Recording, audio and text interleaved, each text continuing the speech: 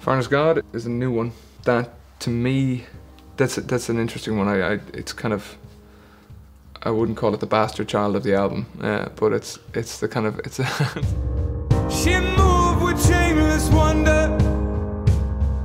The perfect creature Eden's seen.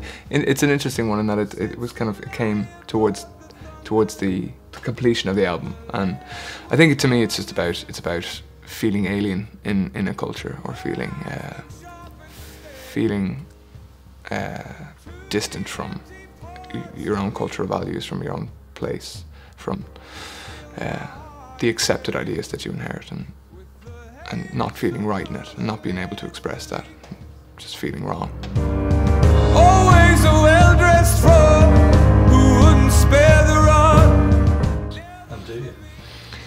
Uh, uh, you know, I, myself and the songs are, are are very separate. I'd have to say for for no, but to to a degree, of course, yeah. Uh, certainly, in there's certainly aspects of, of any any uh, culture or cultural mentality that you know doesn't sit right with, with people. But yeah, certainly, I would.